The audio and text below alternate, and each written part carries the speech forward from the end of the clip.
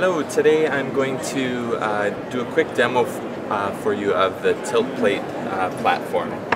So most of you are familiar with the PentaGuide, which is a device that you can uh, use to perform daily QA of the cone beam uh, CT system.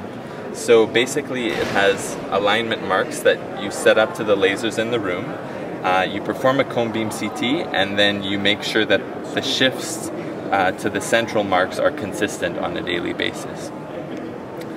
Uh, the tilt plate basically uh, lets you take this same setup uh, and use it on a six degree of freedom couch.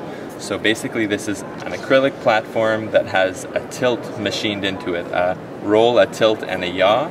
Um, so basically you place the tilt uh, or the PentaGuide onto the tilt plate um, and now because it's uh, it has the tilt associated with it. The PentaGuide won't be level anymore, but you want to make sure that the tilt plate is level on your couch still.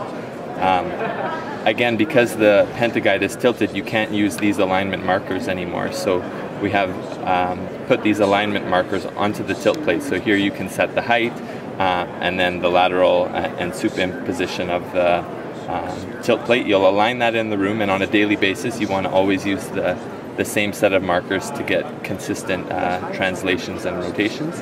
Um, you perform a cone beam CT next and uh, perform the image match of the PentaGuide um, as you normally would do on a daily basis. Um, now instead of just getting translations, you'll also get three sets of rotations.